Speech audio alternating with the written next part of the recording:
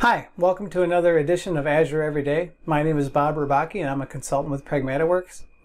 And we get the question fairly often about whether I should use Azure Data Factory or Logic Apps when doing a data integration project in, in Azure.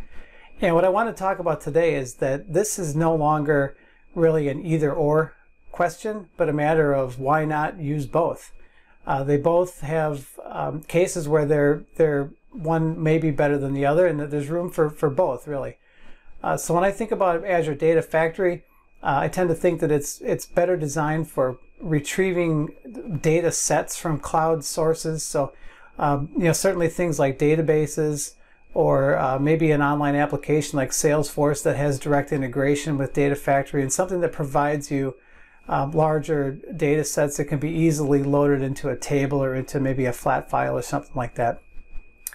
Um, but not all of our data is going to be coming from sources like that. And where Azure Logic Apps is particularly strong compared to Azure Data Factory is if you need to reference uh, like a REST API, for example. So Azure Logic Apps is going to be better, generally speaking, in that case. And so uh, we've worked on a lot of projects recently where we've got a lot of data coming from set-based sources where Azure Data Factory is a pretty logical fit there. But other data, we need to uh, access an application via uh, a REST API.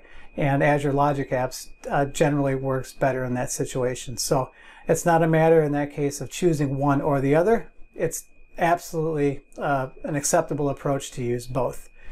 Um, this is particularly true in a lot of uh, cloud platform technologies today where both of these don't require any uh, upfront cost or equipment to get started up. So you do not have to decide upfront between one or the other.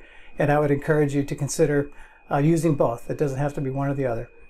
If you have any questions about uh, Azure Data Factory, Azure Logic Apps, or if you'd like to learn more about Azure and how your company or organization can use it, please reach out to us and let us know. Thank you.